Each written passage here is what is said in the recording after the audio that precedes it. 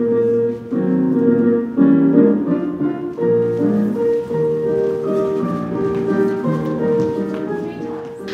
thrilled to be in Ottawa. This is actually my first time conducting master classes here. I've danced here at the NAC countless amount of times, but uh, first time to teach um, and. Uh, just so excited to get to know the students here. Um, you know, I've been mentoring young dancers now for the past seven years.